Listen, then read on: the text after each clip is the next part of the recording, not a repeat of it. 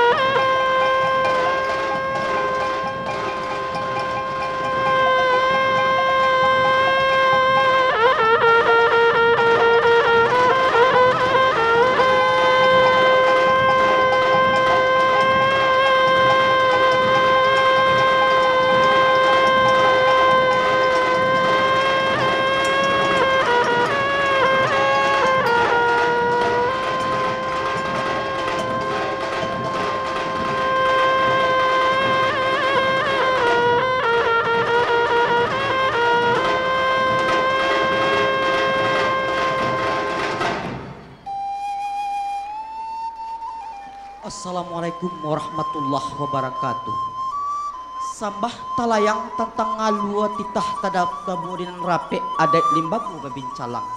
Niye jenazah balabuhan limbak dan daripada itu. Talatak pun tiang dulu di bawah kumpalan tali. Aso mulu katoda ulu tiku limbago tarajali. Pertama sambah menyambah kedua baso jubasi. Katigo sirih jupinang. Sambah menyambah dalam adat talibat tali undang-undang tasabut babulik manih tapakai babaso bayi mulik manih telempong kato baso bayi lo di biada tipak na piawai adai bana mo sopan santun. Cabiak sirih kupilah pinang nak senang hati rangan banyak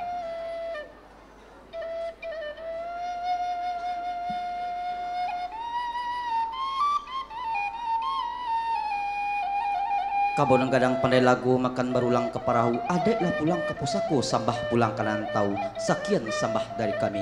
Assalamualaikum warahmatullahi wabarakatuh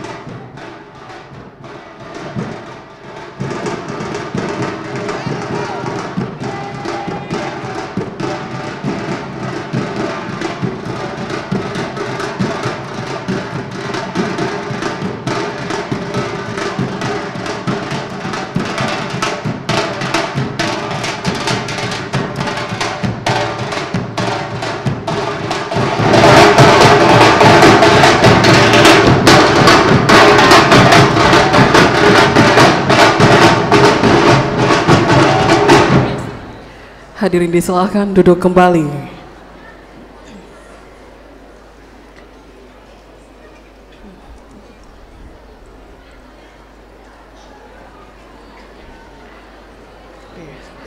Bismillahirrahmanirrahim.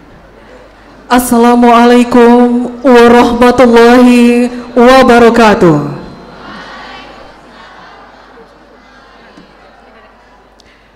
Selamat siang dan selamat datang kami ucapkan kepada yang terhormat Kepala Staf Kepresidenan Republik Indonesia Bapak Jenderal Purnawirawan Dr. Muldoko SIP MSI beserta rombongan di Universitas Negeri Padang Rektor Universitas Negeri Padang Bapak Profesor Ganefri PhD dan Rem 032 Wirabraja Brigjen TNI Purmanto yang kami hormati, Ketua dan Sekretaris Majelis Wali Amanat, Ketua dan Sekretaris Senat Akademik Universitas, Wakil Rektor, Sekretaris Universitas, Dekan dan Wakil Dekan, Direktur dan Wakil Direktur Sekolah Pasca Sarjana, Ketua Lembaga, Kepala Biro, Kepala dan Sekretaris Badan, Kepala UPT, Kepala SPI, Kepala Pusat Selingkungan Universitas Negeri Padang, Bapak dan Ibu dosen,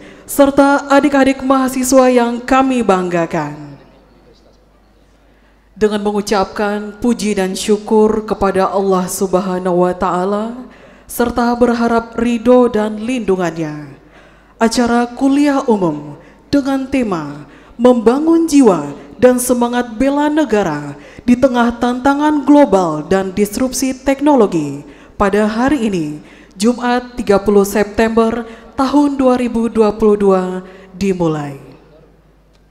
Bapak dan Ibu hadirin yang kami hormati, mengawali acara marilah menyanyikan bersama lagu kebangsaan Indonesia Raya. Hadirin kami mohon berdiri.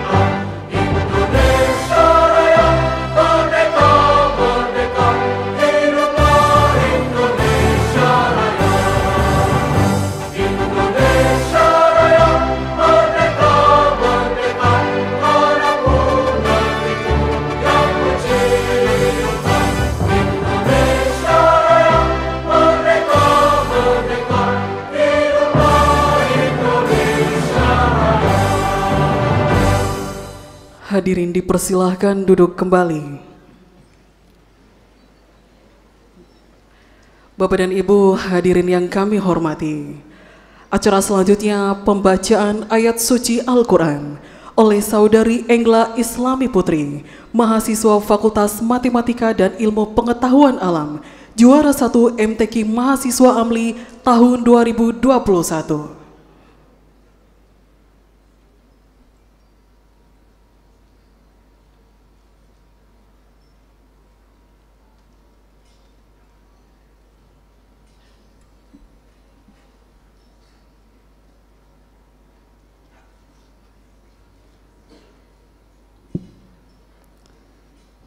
Assalamualaikum warahmatullahi wabarakatuh.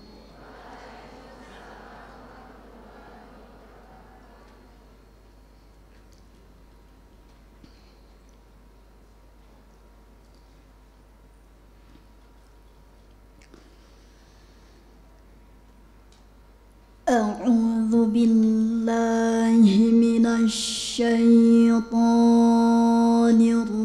الرجيم.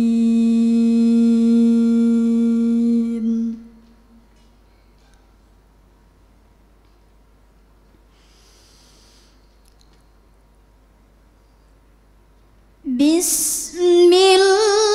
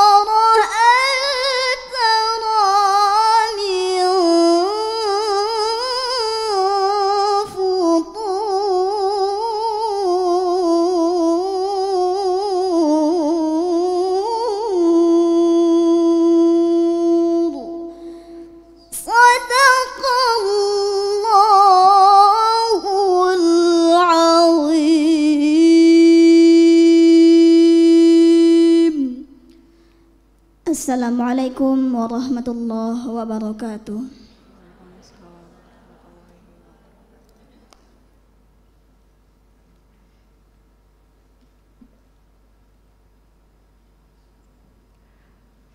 Bapak dan Ibu hadirin yang kami hormati, agar acara ini mendapatkan ridho dan perlindungan dari Allah Subhanahu wa Ta'ala, marilah kita berdoa bersama yang akan dipimpin oleh Bapak Muhammad Hidayat MA dosen Departemen Sosiologi, Fakultas Ilmu Sosial.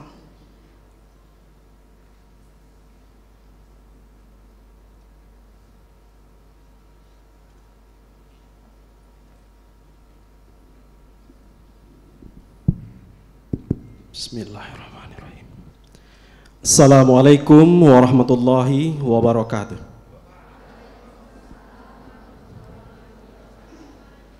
Hadirin dan hadirat sekalian, marilah sejenak kita memohon kepada Allah Subhanahu wa taala agar acara kita ini diberkahi oleh Allah Subhanahu wa taala dan sukses hendaknya. Terlebih dahulu sebelum berdoa, marilah kita meminta ampun kepada Allah Subhanahu wa taala dengan mengucapkan kalimat istighfar tiga kali astaghfirullahalazim astaghfirullahalazim astaghfirullahalazim A'udzu billahi minasyaitonir rajim. Bismillahirrahmanirrahim. Alhamdulillahi rabbil alamin.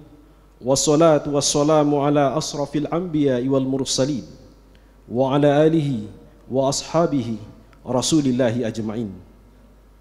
Ya Allah, ya Tuhan yang Maha Pengasih dan Maha Penyayang.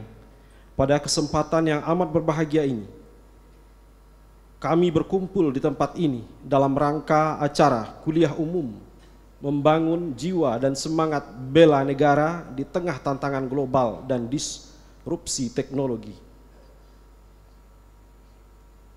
Perkenankanlah ya Allah, kami memohon kepadamu dengan sedalam-dalamnya agar engkau memberikan rahmatmu dan karuniamu dalam acara ini. Allahumma ja'al jam'ana hadha jam'an marhuman wa nafrum qana min ba'dihi wa tafarruqan maksuman.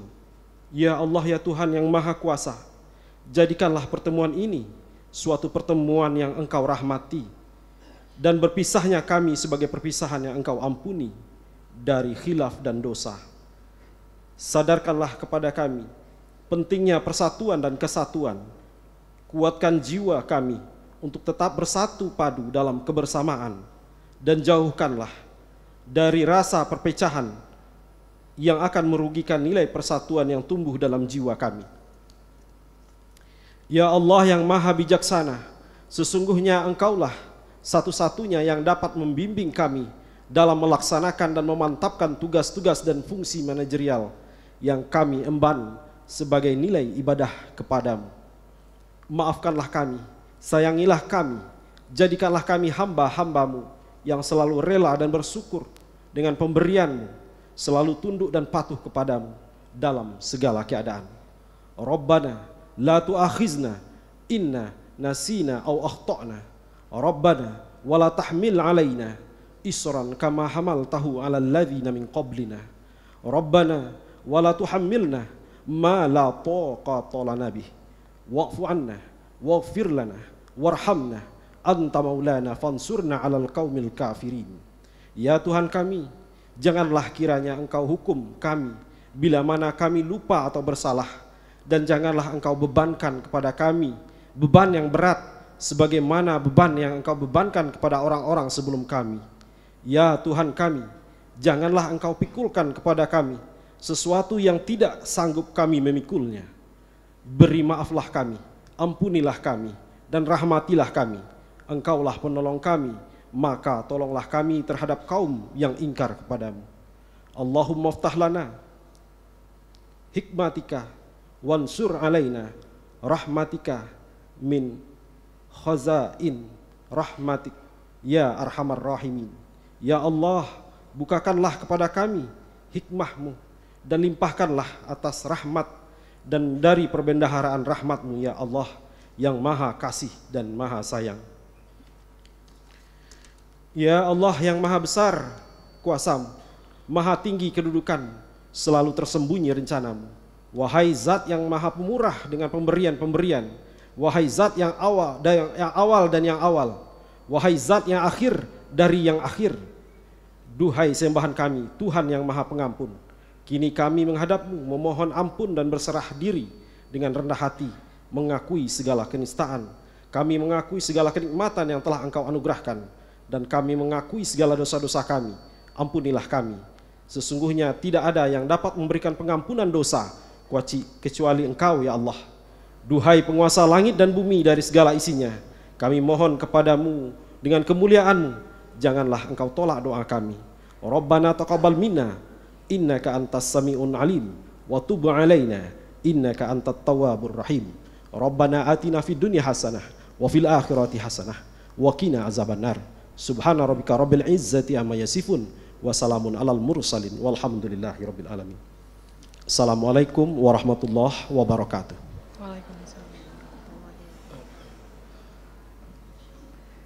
Bapak dan Ibu hadirin yang kami hormati, Acara selanjutnya marilah kita dengarkan bersama sambutan sekaligus membuka acara secara resmi oleh Rektor Universitas Negeri Padang. Kepada Bapak Profesor Ganefir PhD, kami persilakan.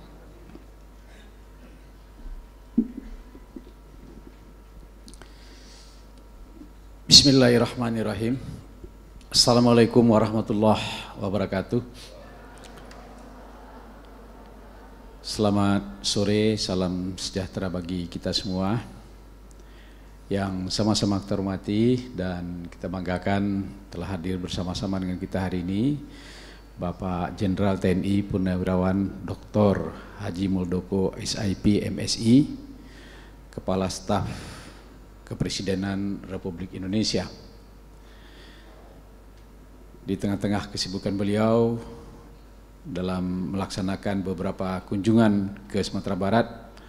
Alhamdulillah beliau berkenan memenuhi undangan dari Universitas Negeri Padang untuk memberikan kuliah umum berbagi kepada kita semua khususnya anak-anak kami mahasiswa baru dari tiga fakultas ya, yang kita undang pagi sore ini.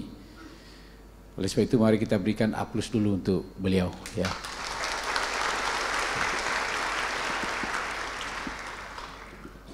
Terima kasih Pak Jenderal ya.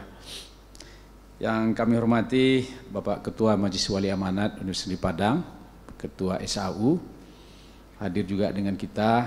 Terima kasih ini Pak Danrem.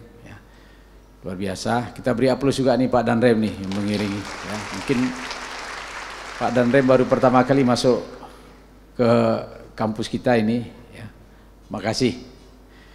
Juga sahabat kami Pak Dirut M Jamil, makasih Pak Dirut, Pak Dr. Rizwan, ya. M Jamil maju begitu pesat. Kita beri aplaus juga nih kepada Pak Dirut M Jamil ya. Alhamdulillah M Jamil akan dikembangkan ya karena bantuan dukungan Pak Muldoko dapat perluasan tanah ya Pak ya. Nah, ini kalau jadi Pak Muldoko ini banyak sekali jasanya ke Sumatera Barat sebenarnya nih. Nah,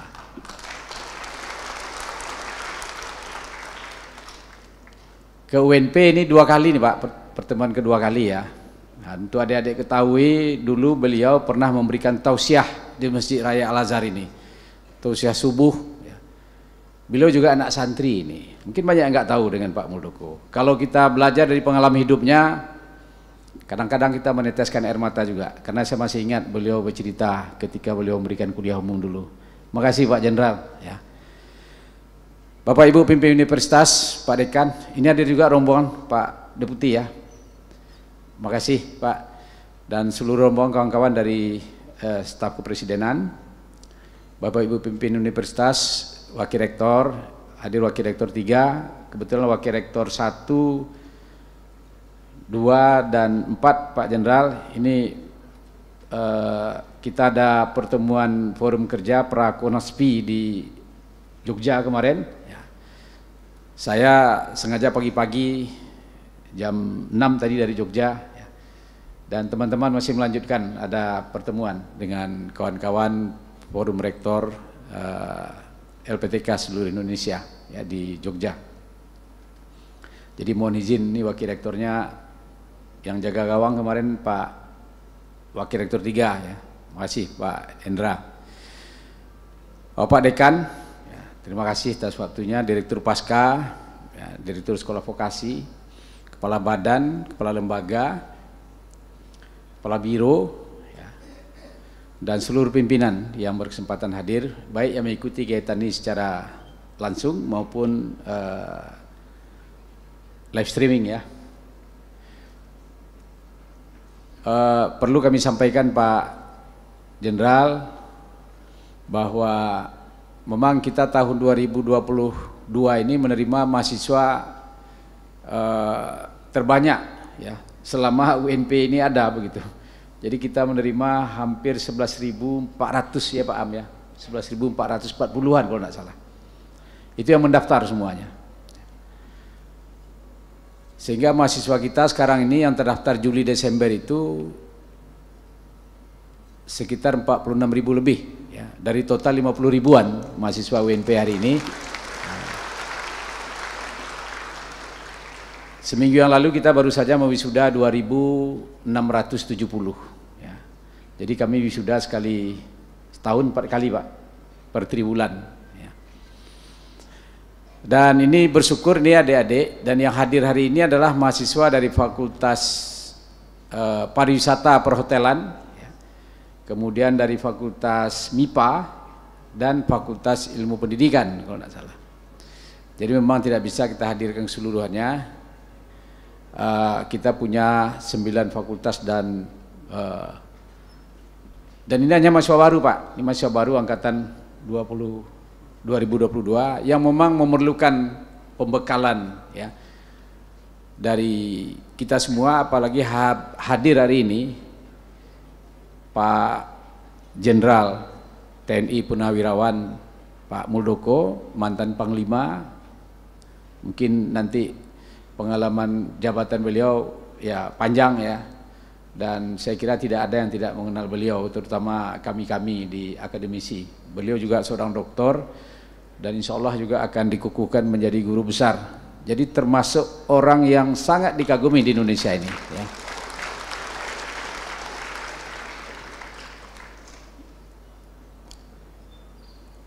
Saya kira kalau tak ada Pak Muldoko mungkin Pak Nusirwan bingung juga. Saya lihat dulu bingung dia gimana katanya ini.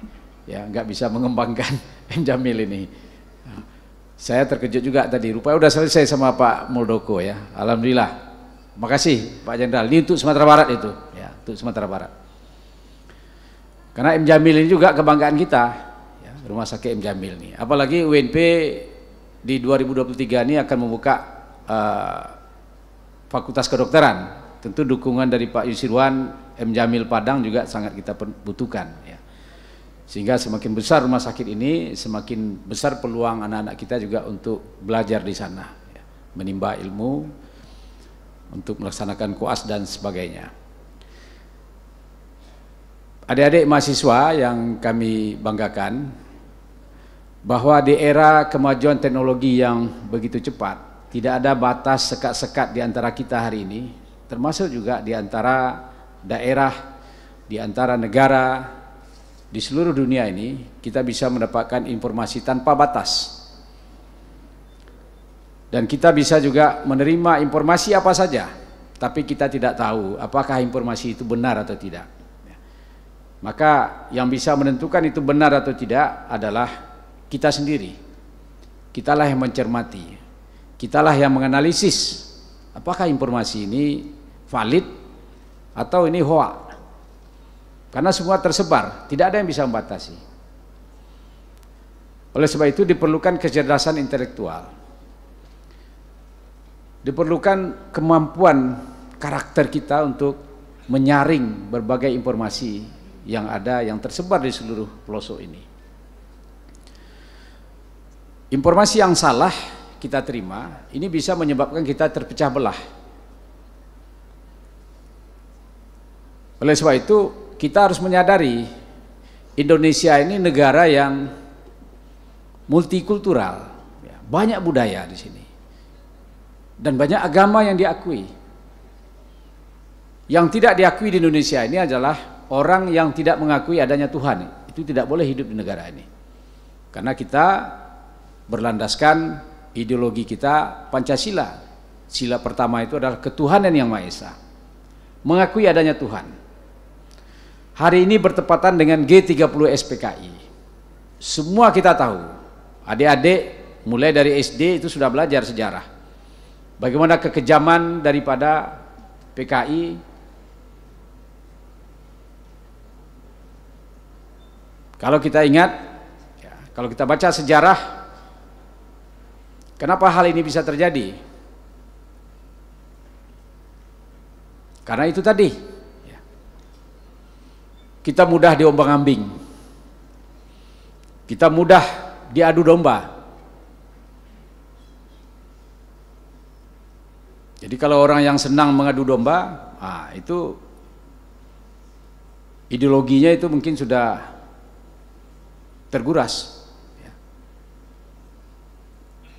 Oleh sebab itu kepada anak-anak kami, mahasiswa Universitas Negeri Padang, kita di era kemajuan teknologi ini memang kita harus berpikir jauh ke depan. Ya. Tantangan yang kita hadapi jauh lebih besar. Dan kita tentu juga perlu melihat belajar dari sejarah maka itu orang mengatakan jas merah katanya, jangan pernah melupakan sejarah. Ya. Jadi hari ini kita hari yang bersejarah ini, tepat 30 September 2022, Bapak Jenderal Muldoko, mantan Panglima, berkesempatan memberikan pengarahan kepada kita semua dalam bentuk kuliah umum, membangun jiwa dan semangat bela negara. Di tengah tantangan global di era disrupsi di era yang tidak ya mungkin hari ini dianggap mengganggu tapi ke depannya itulah yang akan terjadi. Disruption. Nah, oleh sebab itu kita sangat beruntung. Jadi ini kami sambil memperingati G30 G30 SPKI ini Pak ya. Pak Muldoko berkesempatan hadir. Jadi ini menambah semangat kami juga ini untuk melaksanakan kegiatan kuliah umum ini pada tanggal 30 September 2022 ini. Ya. Mudah-mudahan semua kita anak-anak kami yang hadir hari ini bisa mengenang kembali bagaimana kekejaman PKI ya, dalam memecah belah bangsa ini dan membunuh beberapa tokoh-tokoh pemimpin-pemimpin bangsa ini yang kita telah lihat ya bagaimana mereka melakukannya.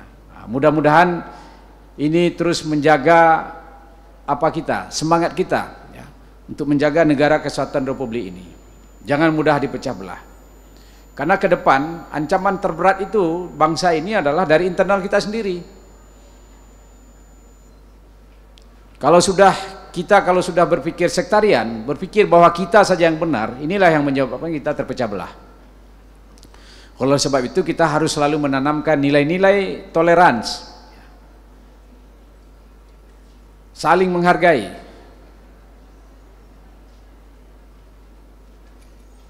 Walaupun berbeda budaya, walaupun berbeda agama, ya, tapi kita tetap satu dalam kerangka negara kesatuan Republik ini.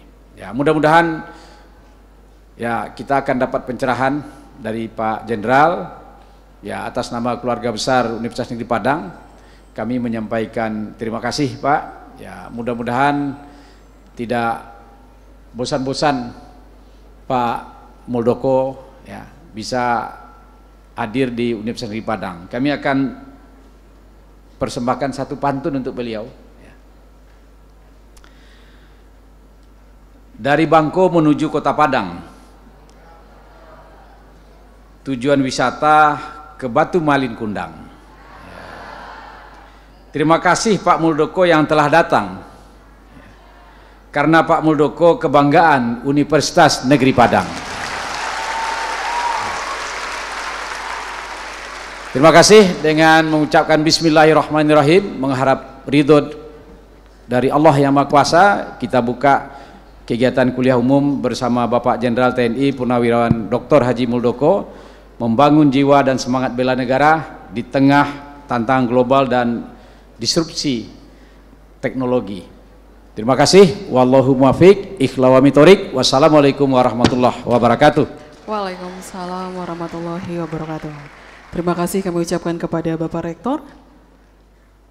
Baik Bapak dan Ibu hadirin yang kami hormati, tibalah kita pada acara inti, yakni kuliah umum dengan tema Membangun Jiwa dan Semangat Bela Negara di Tengah Tantangan Global dan Disrupsi Teknologi Tentunya bersama Kepala Staf Kepresidenan Republik Indonesia, Bapak Jenderal TNI Purnawirawan Dr. Muldoko SIP MSI.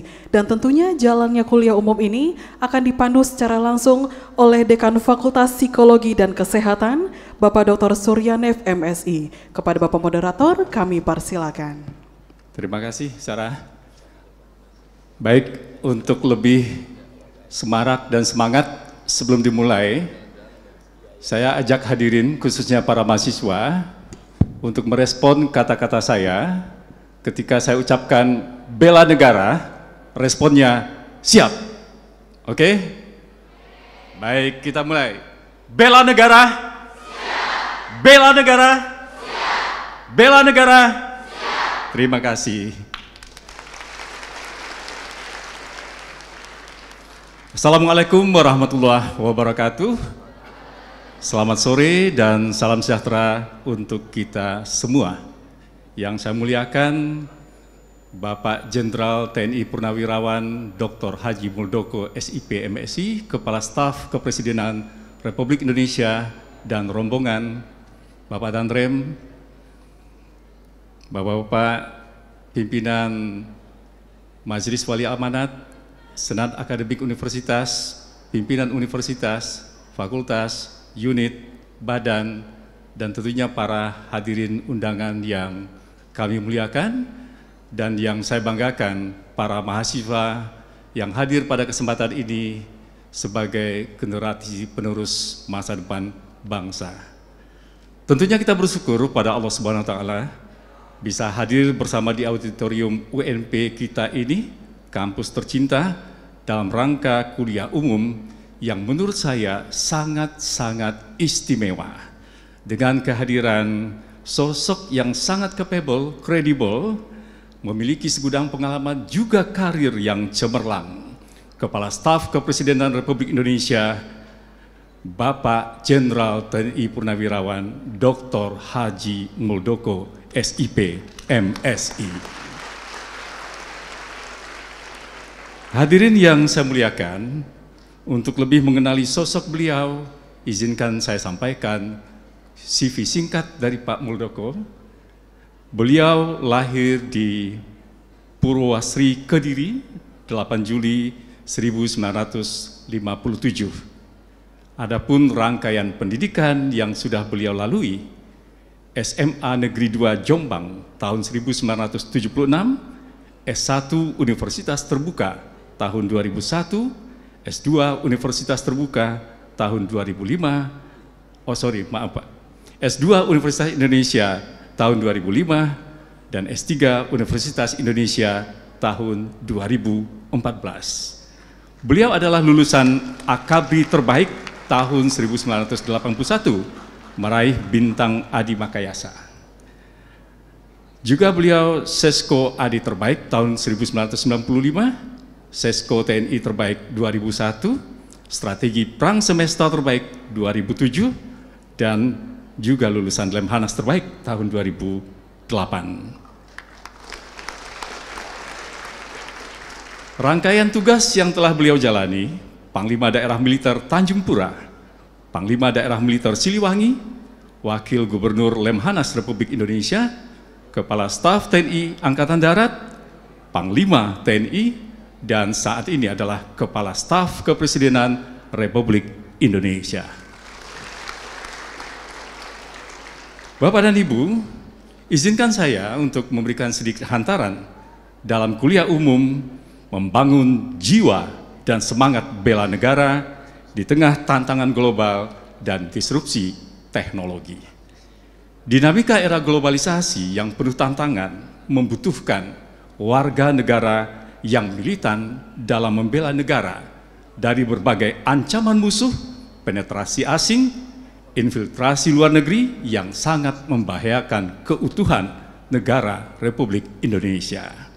Esensi dari kesadaran bela negara ini pada hakikatnya dimaksudkan untuk mewujudkan warga negara yang memiliki kesadaran sikap dan perilaku yang menjunjung tinggi pentingnya aktualisasi nilai-nilai luhur bela negara, yaitu cinta tanah air, sadar berbangsa dan bernegara, setia pada Pancasila sebagai ideologi negara, rela berkorban untuk bangsa dan negara, serta mempunyai kemampuan awal bela negara yang baik secara fisik maupun psikis. Hanya saja persoalannya di tengah kondisi negara yang sedang mengalami berbagai permasalahan kebangsaan akhir-akhir ini di Tenggarai bahwa semangat nasionalisme, patriotisme, dan bela negara khususnya di kalangan generasi muda di era digital menunjukkan kecenderungan menurun atau memudar. Beberapa indikasi antara lain adalah munculnya semangat kedaerahan yang berlebihan, merebaknya eh, fanatisme dan intoleransi yang berujung pada kebencian antar umat beragama dan sebagainya. Ketidakpedulian terhadap bela negara, lagu kebangsaan, kurangnya apresiasi terhadap budaya dan kesenian daerah, konflik antar etnis yang mengancam keutuhan kita sebagai satu bangsa Indonesia. Sehubungan dengan hal tersebut, beberapa pertanyaan yang mungkin dan dapat kita ajukan, mengapa hal itu terjadi? Apa urgensi bela negara? Bagaimana pembelaan negara yang harus dilakukan untuk generasi muda di era digital atau disrupsi teknologi, serta bagaimanakah strategi negara untuk membangun sikap militan warga negara dalam membela negara untuk tetap esisnya Negara Kesatuan Republik Indonesia. Hadirin yang saya hormati, mari kita dengarkan paparan dari Bapak Jenderal TNI Purnawirawan Dr. Haji Muldoko SIP MSI. Waktu kami silahkan Pak.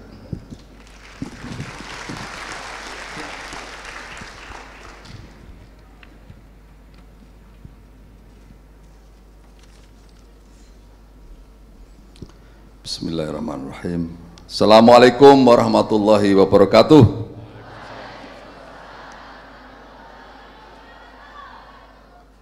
Yang kita banggakan bersama, kita hormati, kita muliakan Bapak Rektor. Ini saya punya hubungan emosional dengan beliau, sangat dekat dengan beliau Makanya begitu uh, diminta ke sini hanya satu kata yang ada, siap, nggak ada yang lain gitu. Bapak Wakil Rektor, Bapak Bapak para dekan dan seluruh pejabat struktural dan fungsional Universitas Negeri Padang, Bapak-bapak para wali amanat UNP, Bapak Ketua Senat Akademik UNP, Pak Danrem, dan Pak Moderator, terima kasih. Di sini saya juga membawa Deputi 2 dan jajaran, ada juga Dirut Rumah Sakit Jamil, nanti saya akan cerita ya tentang Rumah Sakit Jamil. Saya jalan-jalan aja lah. Saya juga bisa baca apa tuh balas pantunya Pak Rektor nih, emangnya gue nggak bisa apa? Pergi ke Padang, lihat sunset ke pantai Marawa. Masakan Padang bikin saya berselera Terima kasih para dosen dan mahasiswa. Sambutan meriah, saya pun gembira luar biasa. Luar biasa. Izin Pak Rektor, saya mau jalan-jalan aja.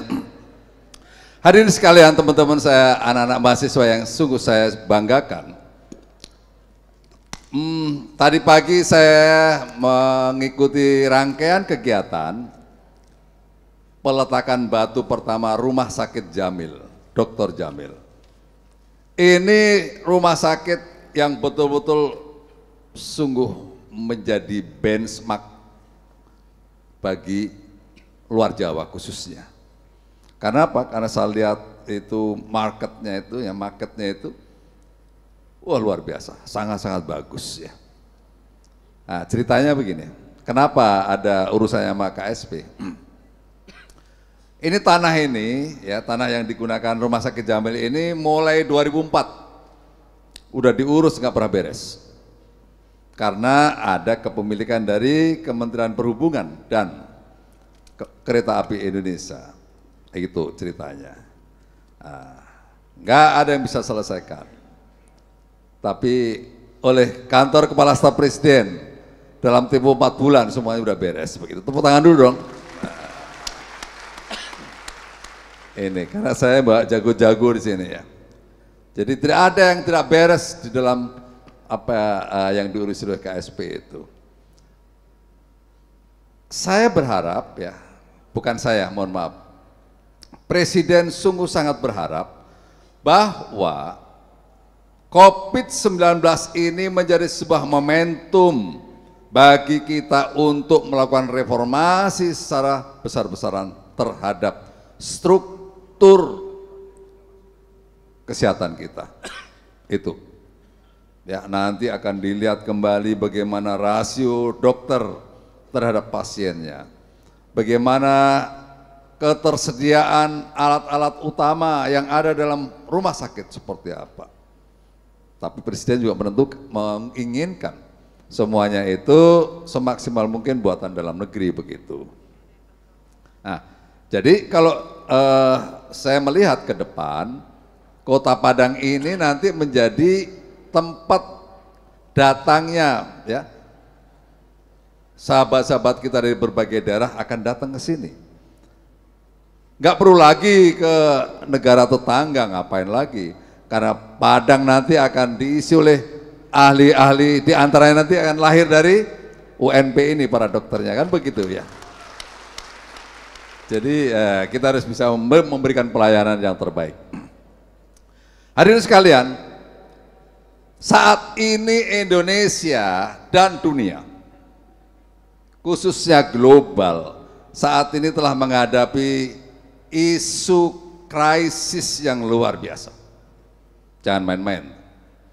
Krisis ini sungguh luar biasa dunia tidak dalam situasi dan kondisi baik-baik saja, enggak. Dunia global saat ini menghadapi situasi yang rumit, disrupsinya enggak jelas. Mau ke mana betul-betul enggak jelas. Satu, setelah COVID, diperburuk lagi dengan perang Rusia dan Ukraine, dampaknya energi security kita akan terganggu. Energi security dunia sungguh terganggu. Nord Stream ya, Nord Stream 2 yang dibangun Rusia menuju ke Jerman saat ini dihentikan. Bayangkan betapa kalang kabutnya itu orang Jerman saat ini. Harga minyak dunia nggak jelas mau ke mana harganya. Sulit dilihat. Yang kedua, kita juga menghadapi dunia menghadapi food security. Kalau tadi energy security, sekarang food security. Ada 194 juta masyarakat dunia saat ini menghadapi kesulitan untuk makan.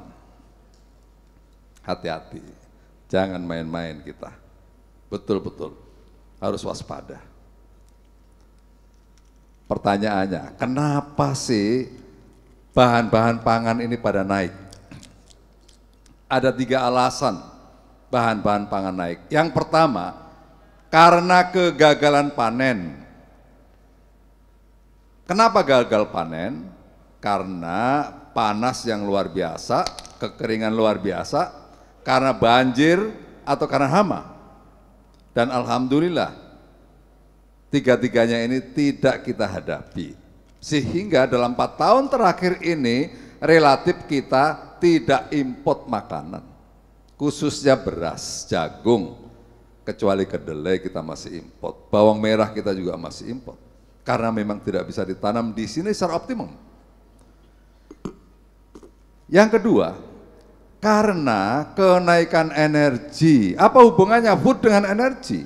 Karena ada konversi dari makanan ke energi. Contoh sawit bisa menjadi biodiesel ya B30. Bisa juga dari jagung, bisa juga dari tebu. Ini konversinya seperti itu.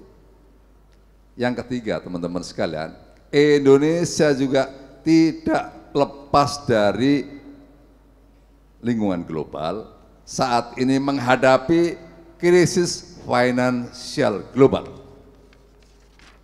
Coba lihat betapa negara-negara Eropa, ya, negara Amerika, Turki, inflasinya luar biasa.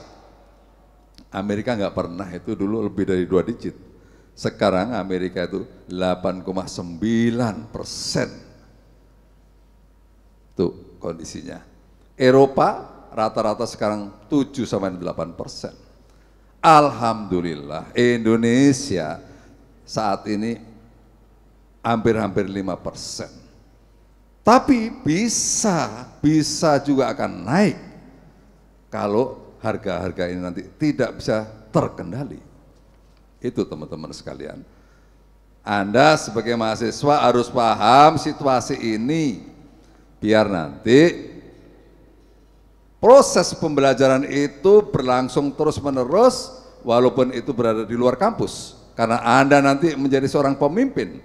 Anda menjadi seorang pemimpin harus paham bagaimana situasi dan kondisi dunia selalu berlangsung unpredictable dan uncertain. Tuh. Kondisinya seperti itu. Pertumbuhan hampir semua dunia menghadapi pertumbuhan yang turun. Indonesia masih alhamdulillah pertumbuhan kita masih cukup baik. Masih cukup baik. Tuh. Kondisi kita seperti itu. Berikutnya, fenomena global. Ini selalu saya sampaikan agar kita selalu aware dengan fenomena global ini. Karena ini selalu berada di tengah-tengah kita sampai kapan pun. Bahwa dunia telah berubah dengan cepat. Pertanyaannya, mampu enggak kita ini adaptif dengan perubahan? Kalau kita tidak adaptif dengan perubahan, sorry, Anda akan tertinggal nggak bisa lagi kita berbicara tenang saja Belanda masih jauh. Sorry nggak bisa lagi. Perubahan begitu cepat. Pak Rektor tadi sudah mengatakan betapa per, perkembangan dan pertumbuhan teknologi begitu cepat. Sudah berubah berubahnya cepat lagi. Speednya luar biasa. Tuh. Di dalamnya ada resiko risknya ada. Mampu nggak kalian kita semuanya mengelola risiko-risiko itu? Kalau tidak mampu mengelola risiko, kita masuk ke jurang. Yang ketiga, kompleksiti. Tidak ada perubahan sekarang ini yang tidak kompleks. Maka kita diinginkan, diharapkan harus mampu menyelesaikan problem solving yang sifatnya adalah kompleks. Gak bisa kita mengerjakan pekerjaan untuk mencari solusi hanya linier, sorry, gak bisa lagi. Sudah gitu, yang terakhir, dunia ini selalu mengejutkan. Sungguh mengejutkan. Contoh nyata dari lima fenomena ini adalah bagaimana kita menghadapi COVID-19. Semuanya berubah. bukan saja sektor kesehatan, tapi COVID-19 membawa perubahan lingkungan sosial berubah, perilaku manusia berubah, ekonomi porak-poranda dunia, dan seterusnya. Kompleksitinya sungguh luar biasa. Surprise, semua dari kita terkejut. Makanya saya tadi sangat semangat datang ke Padang ini karena meletakkan batu pertama untuk membangun rumah sakit. Karena dengan rumah sakit yang semakin baik dari kita, maka salah satu tugas negara itu bisa diselesaikan. Teman-teman sekalian, ya, itulah kira-kira situasinya. Lanjut. Ah ini lagi, ini lagi yang kita hadapi. Kalau kita melihat indeks-indeks competitiveness global, maka kita masih cukup jauh. Ya, cukup jauh. Kita lihat di sini. Human Capital Index kita masih di angka 96 Human Development Index kita masih di angka 107. Global Talent Competitiveness Index kita masih di angka 65. Global Innovation Index kita di angka 87. Ini tantangan bagi dunia pendidikan. Betul-betul ini tantangan. Kalau ini tidak kita tangani, kita akan sulit menuju 2045 menjadi negara maju. Hadirin sekalian, ini selalu saya tampilkan di perguruan tinggi agar semua struktur maupun non struktur di perguruan tinggi itu bekerja keras menuju ke sini. Itu kondisinya. Kalau kita berbicara tentang Human Development Index, itu dilihat dari kesehatannya seperti apa, pendidikannya seperti apa, pendapatan ekonomi masyarakatnya seperti apa. Kalau tiga ini terbenahi dengan baik, Human Development Index kita akan semakin baik. Lanjut.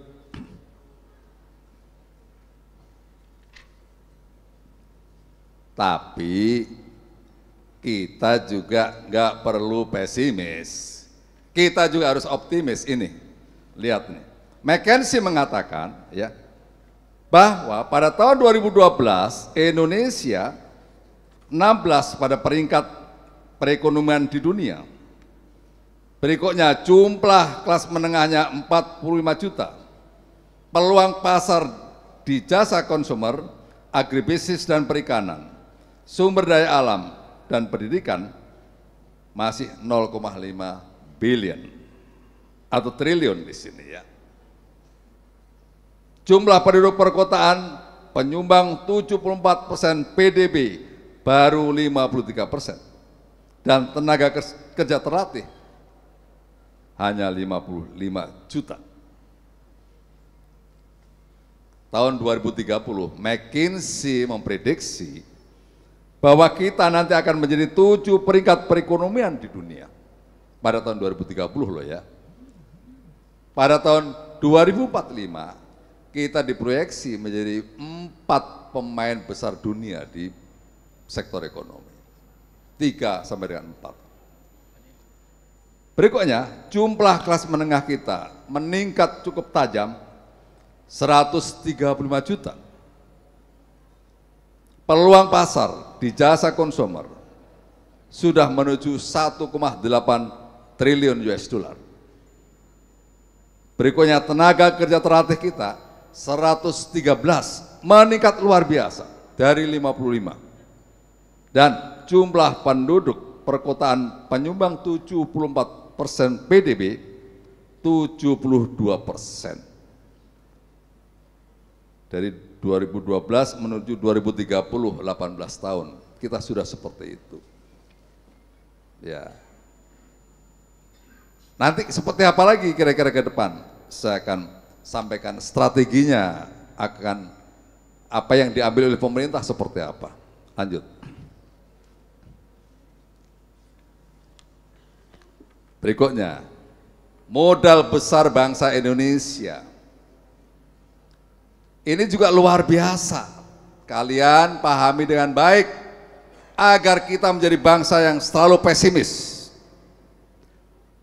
Maksud saya, agar kita tidak menjadi bangsa yang pesimis. Kita harus selalu optimis.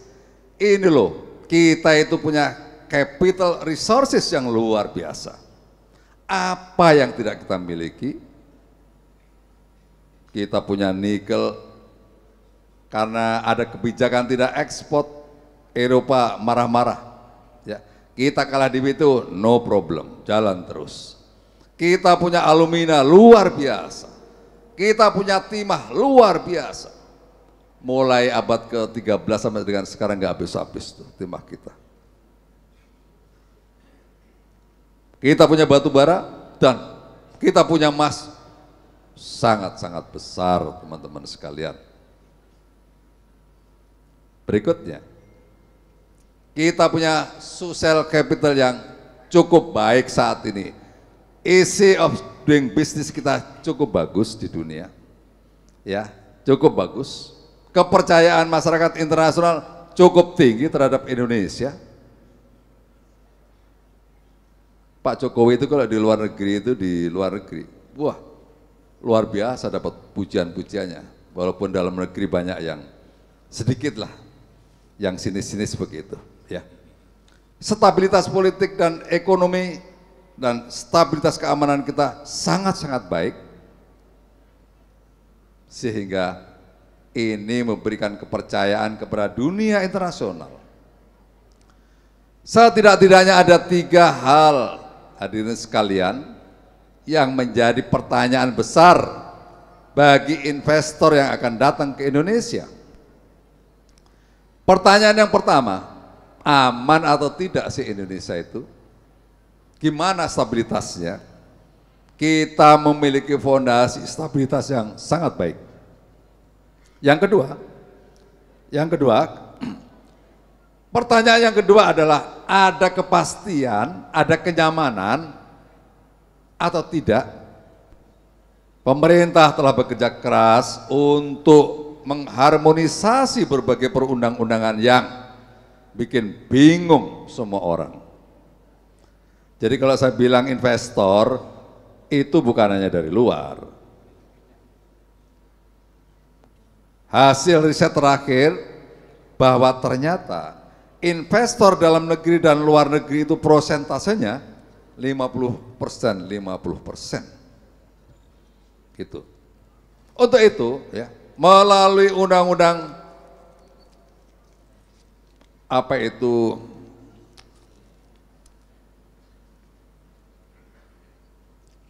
Apa? Undang-undang cipta kerja ya. Dengan pendekatan omnibus law 72 undang-undang yang saling bersilangan itu diharmonisasi agar memberikan kepastian. Sekarang ini UMKM mau bikin PT nggak usah pusing-pusing ya. Dengan pendekatan base risk UMKM itu tidak perlu pusing bikin PT itu. Gampang sekali gampang sekali. Semua perizinan sangat-sangat mudah sekarang ini. Itu. Berikutnya pertanyaan yang ketiga adalah efisien enggak sih investasi di Indonesia?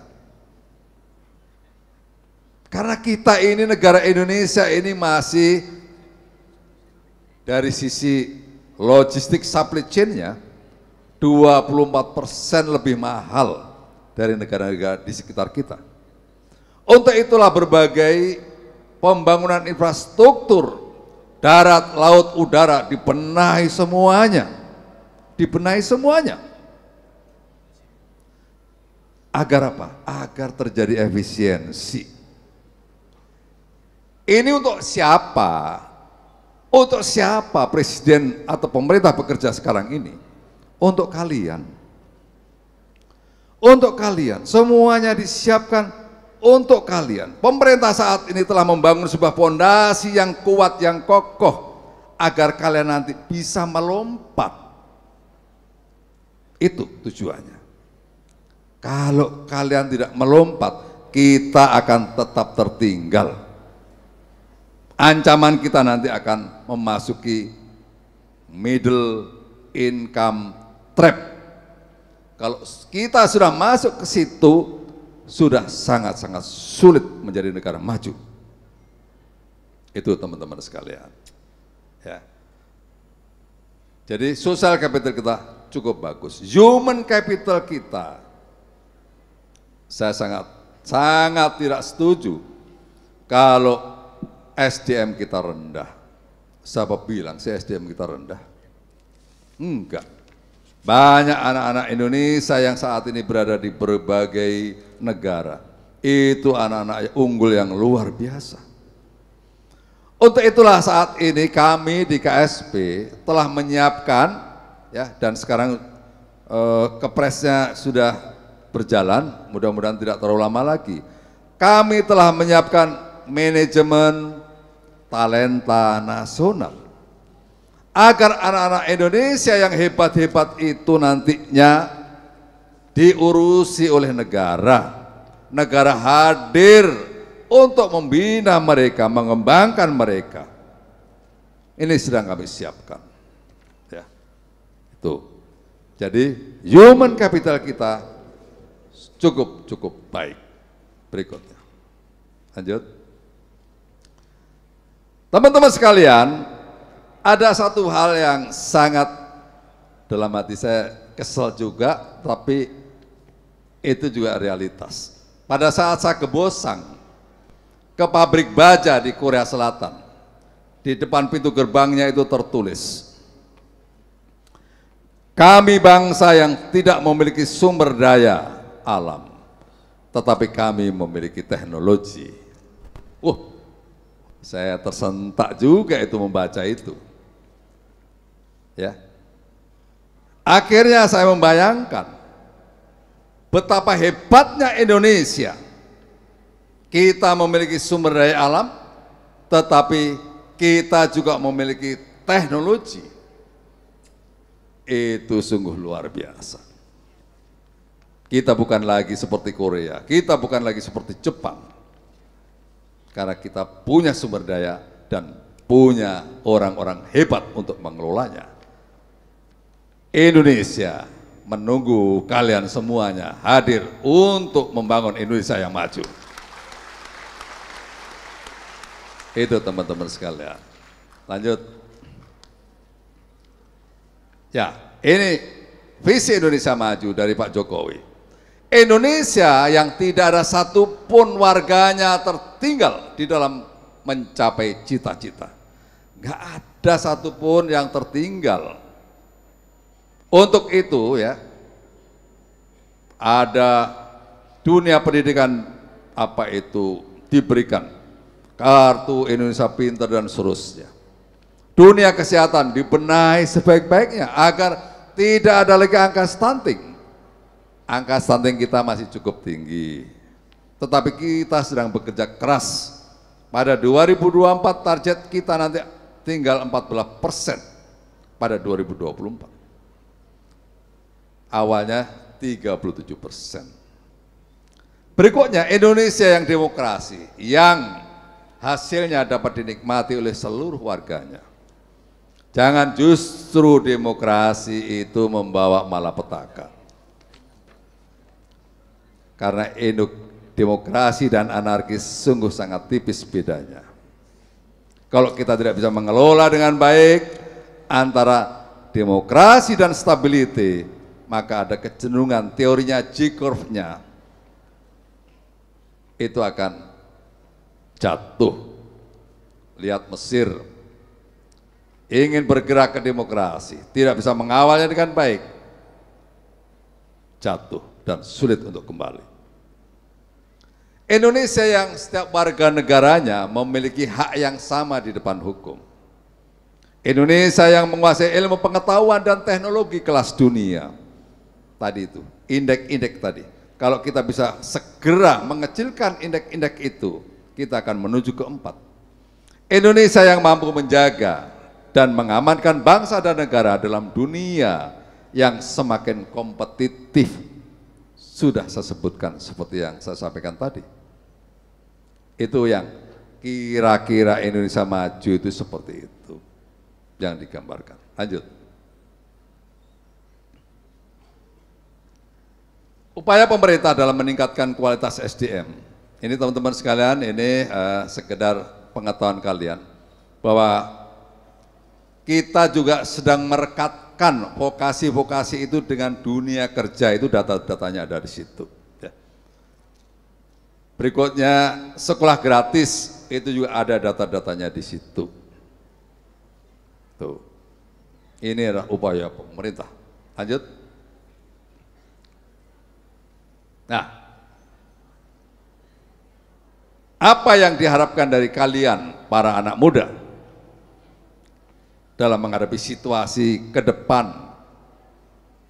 Ini nih, Anda ada, harus menjadi orang yang kreatif.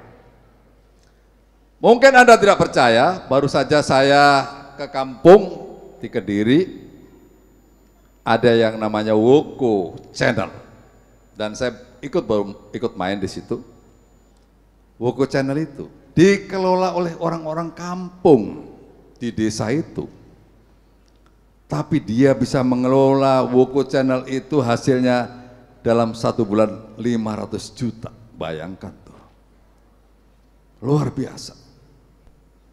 Ya drama-drama kecil tapi lebih kontennya lokal, very lokal, sangat-sangat lokal.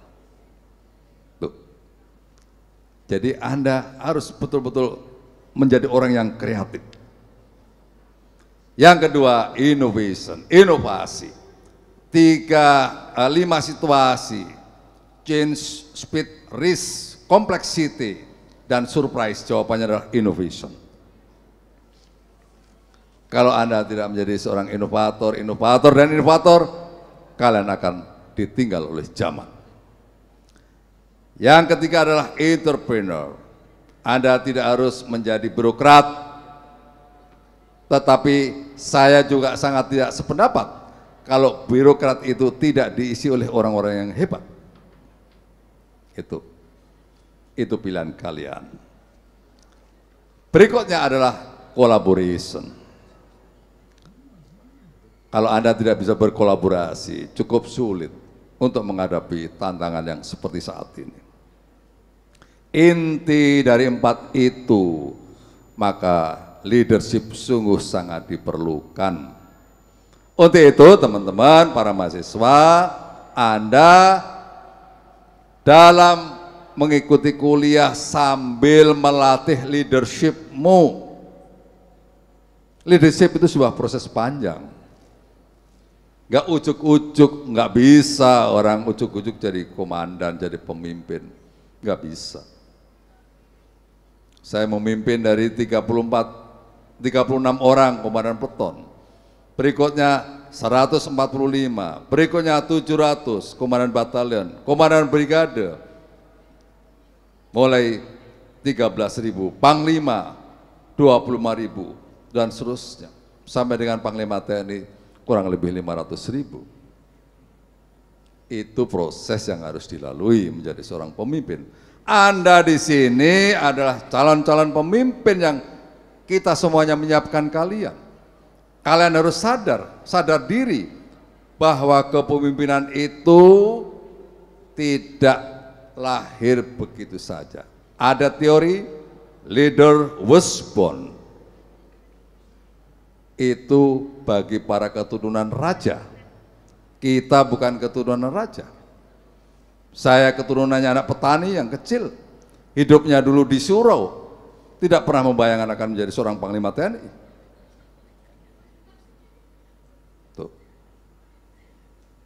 Tapi ada juga pemimpin yang memang lahir dari lingkungan. Saya harapkan kalian lahir dari lingkungan kampus yang hebat ini, ada ke depan akan menjadi seorang pemimpin yang hebat. Setuju nggak itu? Setuju enggak? Kalian kok ragu-ragu? Jadi pemimpin nggak boleh ragu-ragu. Nah, itu kira-kira terakhir ada lagi terakhir. Saya ingin dengerin kalian, ya.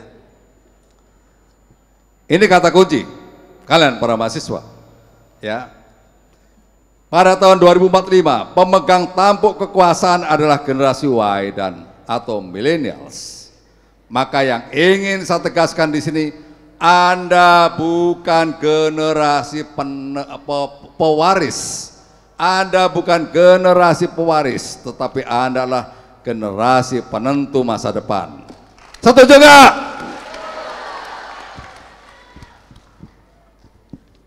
Itu, ingat itu. Anda generasi penentu masa depan. Masa depan bukan berada di pundak kamu, tapi masa depan berada di tangan kalian. Setuju gak? Ya, kalau Anda setuju, belajar baik-baik dan yakin saya harus menjadi sesuatu. Itu yang paling utama. Kalau kamu gak yakin, kalian nanti tidak akan menjadi sesuatu. Itu udah kunci. Tanya sama Pak, nanti sekali-sekali kalian tanya sama uh, Pak Rektor. Ya, apa yang saya omongkan nanti akan dijelaskan dalam konteks main golf. Karena beliau main golfnya bagus. Jadi kalau kita mau main golf nih, mau mukul, waduh, jangan-jangan masuk air nih. Begitu kita pukul, pek, masuk air beneran. Itu bentuk keyakinan. Jadi kalian mulai sekarang yakin saya harus menjadi sesuatu. Oke? Banyak yang nggak yakin. Oke enggak? Ya, saya doakan, saya sebagai abang kamu, sebagai senior kamu, sebagai orang tua kamu. Kamu belajar di sini dengan baik-baik, dan saya yakin kalian akan menjadi sesuatu ke depan. Demikian, Assalamualaikum warahmatullahi wabarakatuh.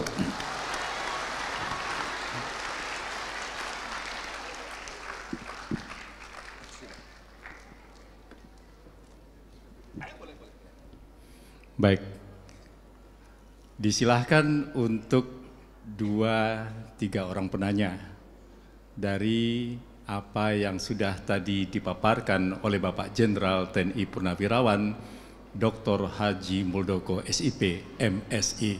Ya, di sana sudah ada tunjuk tangan lebih awal. Silahkan sebut nama dari fakultas mana dan prodinya dan pertanyaannya betul-betul to the point saja. Ya, karena sebentar lagi azan asar juga akan berkemandang. Silakan. Assalamualaikum warahmatullahi wabarakatuh. Perkenalkan nama saya Sri Wahdini dari Fakultas FFP. Sebentar kita dengarkan azan sebentar ya.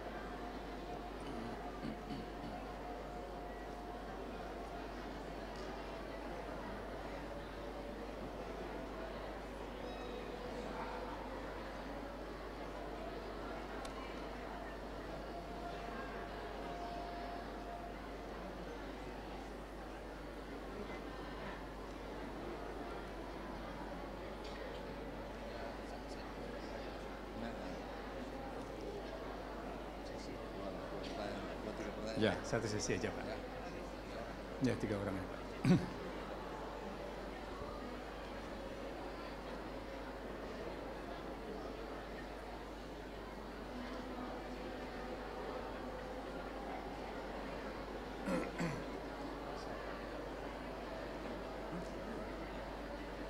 Tiga lima belas.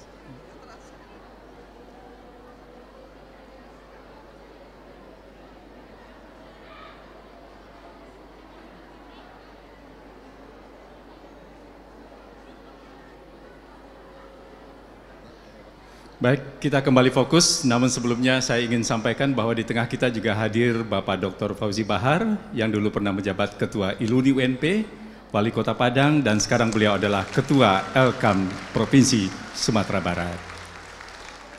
Baik, silakan mahasiswa anak kita. Ya. Sebutkan nama, prodi dan fakultasnya, dan pertanyaannya langsung to the point saja. Baiklah, perkenalkan nama saya Sri Wadini dari Fakultas FEP. Sebelumnya terima kasih atas waktunya. Ananda mohon bertanya. Bagaimana sumber daya alam yang tersedia di Indonesia bakal terkelola dengan baik ke depannya, sedangkan sumber daya manusia sudah mulai melemah karena banyaknya anak-anak di pelosok daerah masih belum bisa menikmati indahnya pendidikan, banyaknya anak-anak miskin tidak melanjutkan pendidikannya karena dap tidak dapat menikma menikmati KIP yang tersedia. Pertanyaannya, Apakah langkah apakah langkah pemerintah dalam mengatasi agar sumber daya alam dan sumber daya manusia tetap bertahan sampai ke depannya? Sekian, Assalamualaikum warahmatullahi wabarakatuh. Silakan yang berikut cepat. Ya, ya silakan. Cukup tiga penanya saja. Tadi saya lihat ada yang menunjuk di bagian belakang. Ya, nanti maju ya. Baik, terima kasih sebelumnya atas kesempatan untuk saya dapat bertanya. Perkenalkan saya Aisyah eh, dari Fakultas Ilmu Pendidikan, Departemen Prodi Pendidikan Luar Biasa. Eh, terima kasih banyak kepada Bapak Purnawan, Purnawawan. Grogi. Nah, tenang, sorry, yang tenang. eh, Bapak Purnamawan, perwira, ang, eh, Purnawirawan, perwira Angkatan Darat. Dan bapak-bapak lainnya yang saya tidak sebutkan karena tidak hafal. Eh, jadi pertanyaan saya adalah eh, mengenai kalimat yang Bapak sampaikan tadi. Indonesia memiliki eh, potensial yang tinggi serta kepercayaan dunia yang sangat baik kepada presiden kita. Tapi tadi itu ada di ujungnya eh, sedangkan bangsa sendiri tidak eh, sepercaya eh, orang luar kepada presiden kita. Itu alasannya kenapa ya Pak? Seharusnya kan yang percaya kepada presiden kita itu dari kalangan kita sendiri, tapi malah orang lain yang lebih tinggi tingkat eh, kepercayaan kepada presiden kita. Sekian pertanyaan dari saya. eh, terima kasih. Wassalamualaikum warahmatullahi wabarakatuh. Baik. Silakan yang mahasiswa saya dari belakang tadi berjilbab hitam, ya silakan.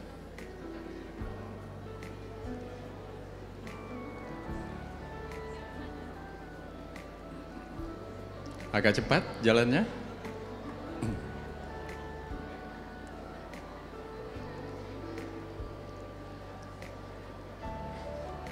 Assalamualaikum warahmatullahi wabarakatuh.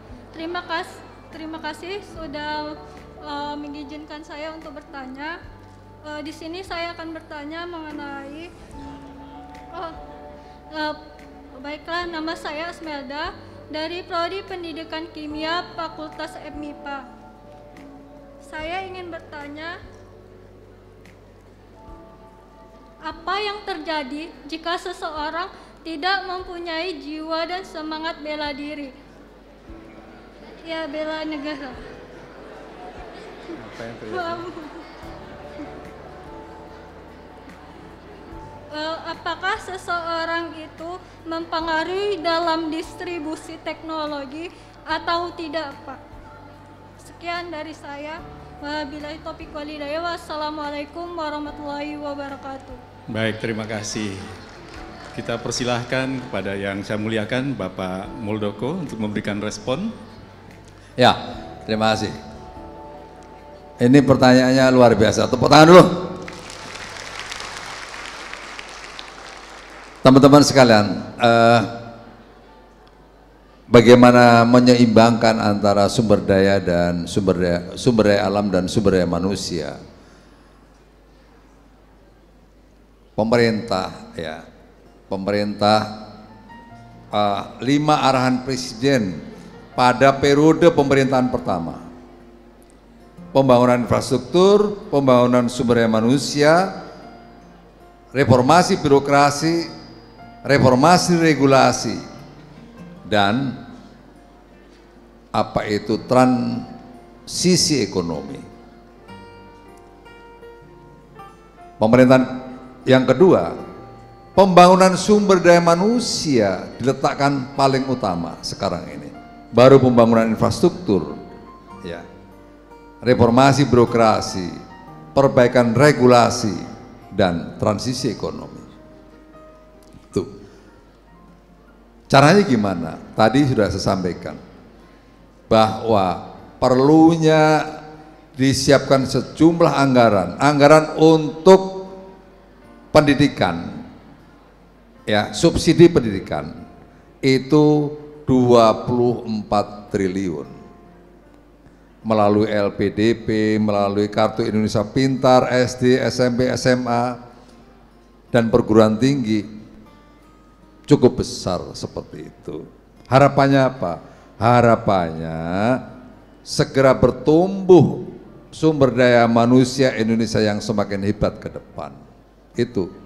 Jadi Anda nggak usah pesimis bahwa pembangunan sumber daya manusia Indonesia ini kita kerjakan habis-habisan.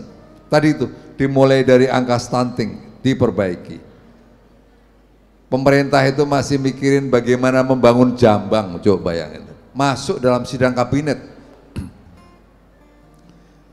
Presiden masih berbicara, Menteri PUPR lakukan perbaikan jambang-jambang itu agar sanitasi itu bisa memenuhi kebutuhan untuk menekan angka stunting. Bayangkan sampai ke situ tuh presiden. Itu. Jadi eh, intinya bahwa kita mengejar, ya kita mengejar untuk pembangunan sumber manusia, pendekatannya adalah pendekatan melalui perbaikan kesehatan. Kesehatan dimulai dari seribu hari golden age, ya umur yang menjadi golden itu 100 seribu hari saat berada di kandungan. Itu betul-betul diperbaiki. Pola makannya diperbaiki pola asuhnya diperbaiki pola lingkungannya sanitasinya diperbaiki berikutnya pendidikannya dibenahi melalui berbagai pemberian subsidi-subsidi agar anak-anak yang miskin seperti saya dulu nggak bisa kuliah, negara hadir untuk bisa menyekolahkan mereka. Itu. Hasilnya kapan? Nanti hasilnya akan kita nikmati. Akan kita nikmati. Berikutnya, kenapa ada sebagian kecil masyarakat Indonesia yang tidak percaya? Ya ini uh, sulit dijelaskan karena ini sudah urusan politik begitu. Jadi kalau udah urusan politik, saya nggak berani berbicara di depan kampus. itu ini urusan politik praktis ya biasa seperti itu. Ya. Tetapi kita melihat di luar bahwa apresiasi dunia terhadap Indonesia sangat-sangat baik. Buktinya Indonesia dipercaya menjadi presidensi G20 itu tidak mudah, nggak mudah, ya itu pasti ada hitung-hitungannya. Sebentar lagi kita juga akan memimpin menjadi leadership, memimpin di kawasan ASEAN dan seterusnya. Itu teman-teman sekalian, Jadi jawabannya ya itu sudah dijelaskan lah. Ini urusan politik praktis begitu. Berikutnya tentang bela negara. Teman-teman teman-teman sekalian, bela negara itu bukan semata-mata megang senjata, bukan. Ya. Karena ancaman kita itu ancaman nyata di depan kita itu adalah kemiskinan, kebodohan. Keterlibatan kalian semuanya di situ itu bagian dari bela negara.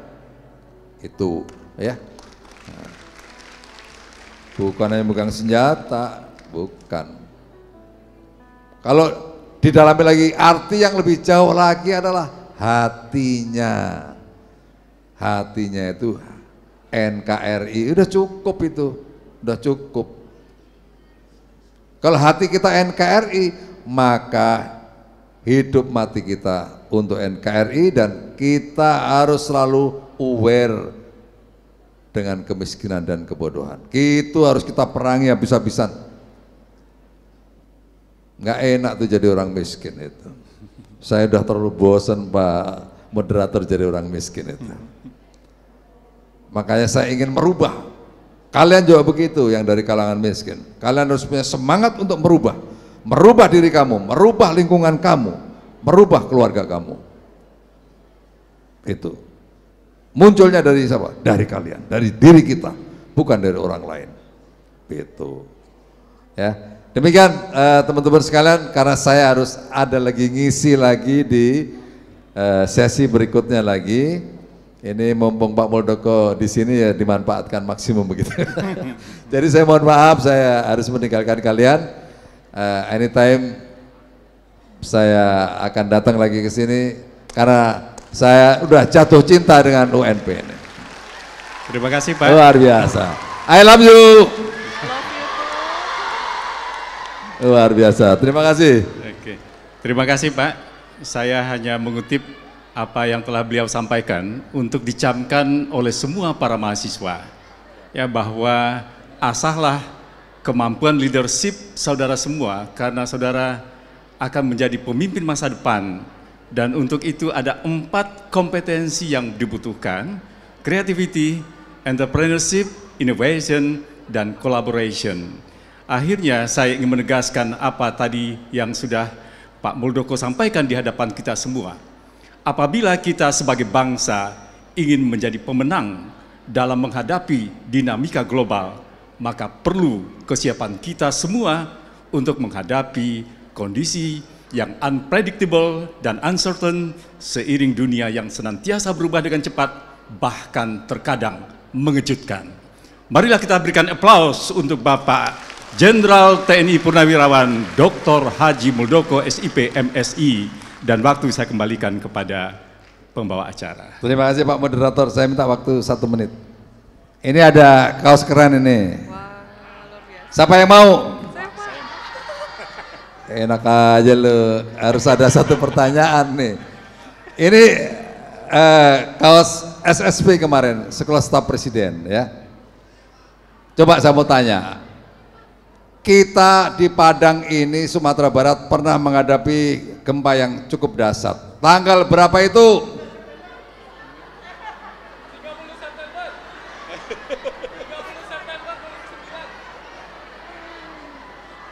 Ayo, maju. ayo maju, maju, maju, maju, cepat, satu, dua, tiga, siapa yang paling yang cepat. paling cepat ya, siapa?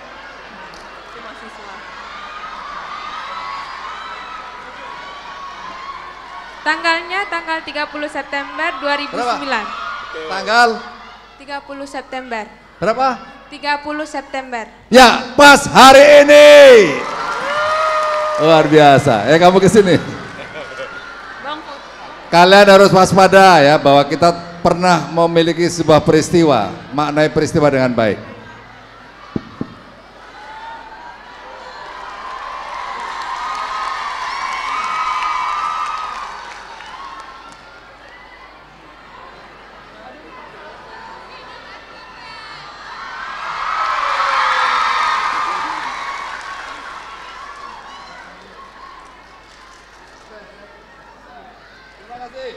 Baik, terima kasih kita beri tepuk tangan dan apresiasi yang meriah tentunya.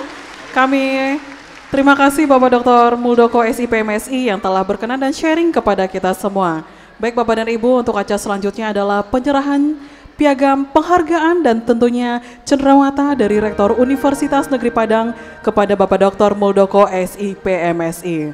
Untuk itu berkenan kepada Bapak Rektor, Bapak Muldoko, untuk dapat berkenan mengambil tempat ke depan dan mohon mendampingi juga kepada Ketua Majelis Wali Amanat, Ketua Senat Akademik Universitas dan Wakil Rektor berkenan sekiranya untuk dapat ke depan.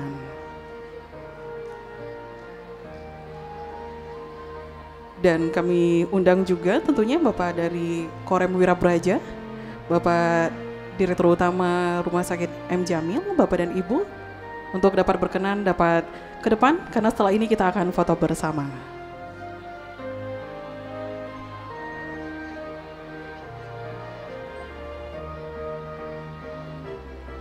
Dan tentunya setelah ini acara tetap akan masih kita lanjutkan dengan adanya penandatanganan MOU dengan antara UNP dengan BMKG. Jadi mohon berkenan kepada Bapak Ibu pimpinan dan juga mahasiswa untuk tetap berada di dalam ruangan ini. Baik, kita beri apresiasi dan tepuk tangan yang meriah. Baik, terima kasih kami ucapkan kepada Bapak Dr. Muldoko SIPMSI yang telah hadir tentunya di Universitas Negeri Padang Kampus Alam Takambang Jadigoro. Baik kita foto bersama, mohon berkenan kepada hadirin untuk dapat berdiri di tempatnya saja. Kita foto bersama terlebih dahulu. Kami persilakan Sekretaris Universitas, Bapak Ibu Dekan, Wakil Dekan, Ketua Lembaga, Kepala Biro, Bapak Ibu dari BMKG. Silakan kita dapat bergabung foto bersama terlebih dahulu. Tentunya ini merupakan momen berharga dan kita doakan semoga di lain kesempatan Bapak Muldoko SIPMSI bisa datang kembali ya di Universitas Negeri Padang. Baik, kita beri semangat ya tentunya. Tangannya dikepal dulu.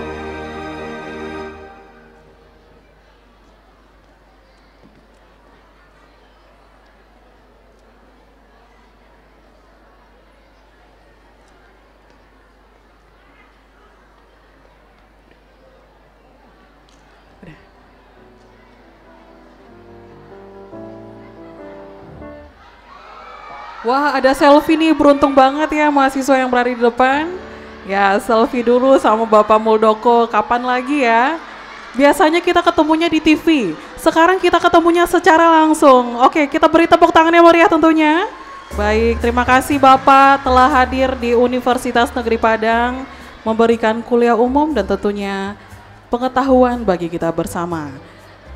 Baik, terima kasih kita lepas dengan tepuk tangan yang meriah.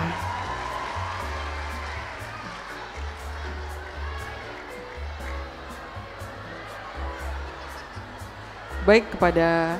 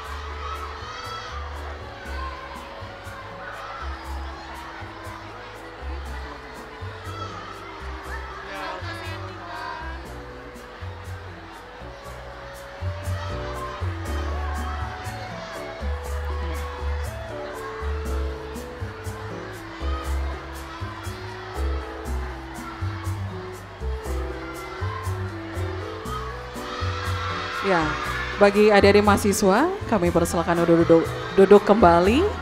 Karena setelah ini acara akan kita lanjutkan dengan penandatanganan MOU antara BMKG dengan Universitas Negeri Padang. Baik mungkin yang berada di lantai dua kita bisa kasih dadah-dadah dulu ya sama Pak Muldoko ya. Mohon untuk adik-adik mahasiswa tetap berada di auditorium. Bapak dan Ibu pimpinan, tentunya Bapak Rektor juga. Karena setelah ini kita akan langsung mengadakan penandatanganan MOU antara BMKG dengan Universitas Negeri Padang.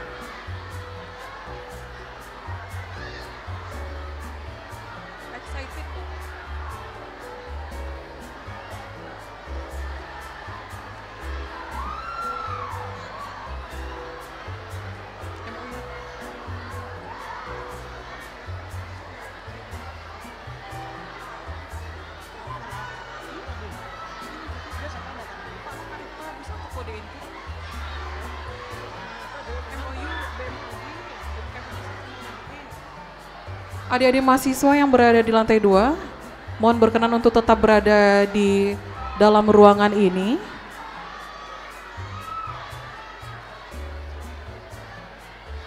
Mohon jangan ada yang keluar dahulu.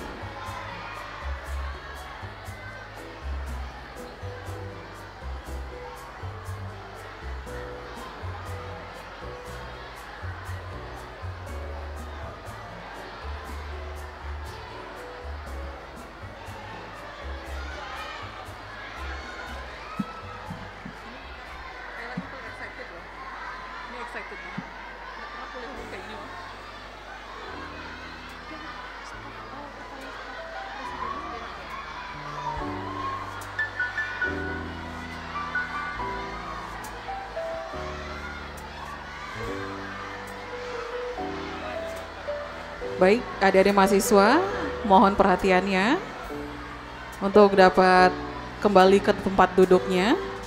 Karena setelah ini kita akan menyaksikan secara langsung penandatanganan MOU dan juga MOE antara Universitas Negeri Padang dengan BMKG dan Fakultas Matematika dan Ilmu Pengetahuan Alam dengan BMKG.